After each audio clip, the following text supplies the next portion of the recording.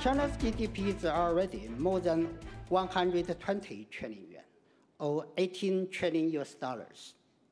It would be difficult to grow at the rate of 8 or 10% like in the past.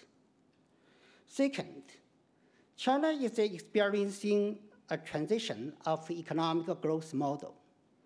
The traditional model of relying heavily on infrastructure and the real estate might generate higher growth, but would also delay structural adjustment and undermine growth sustainability.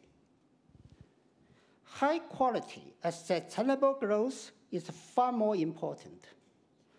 So right now, we should focus more on improving economic structure and forming new growth drivers. The ongoing economic transformation will be a long and difficult journey, but it is a journey we must take. Looking ahead, the Chinese economy remains highly resilient thanks to its strengths, such as innovation ability, big market, good infrastructure, well-established industrial chains, rich and well-educated human resources, just to name a few.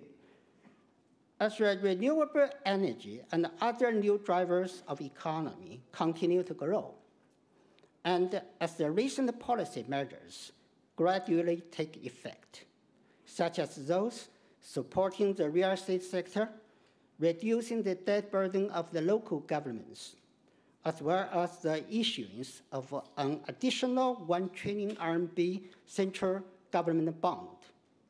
I'm confident that China will enjoy healthy and sustainable growth in the 2024 and beyond. Second, let me talk about PBOC's monetary policy response. This year, the PBOC has used a mix of tools, including cutting the reserve requirement ratio twice, cutting policy rate twice, and guiding the market rate, including the LPR, to go down. As a result, monetary and financial conditions have remained favorable for economic development. M2 and the total social financing increased by 10.3% and 9.3% year-on-year in October, respectively.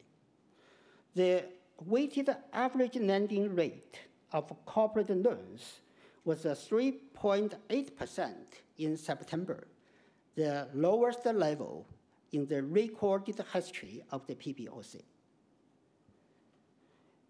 In the meantime, we are also making use of structural monetary policy instruments when appropriate in support of small business, green finance, and innovation.